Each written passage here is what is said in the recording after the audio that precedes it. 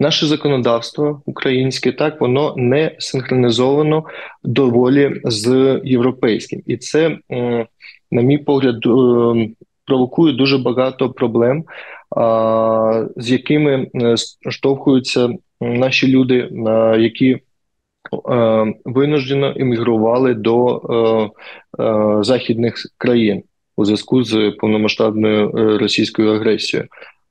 Ми бачимо, з якими проблемами там зіштовхуються наші співвітчизники.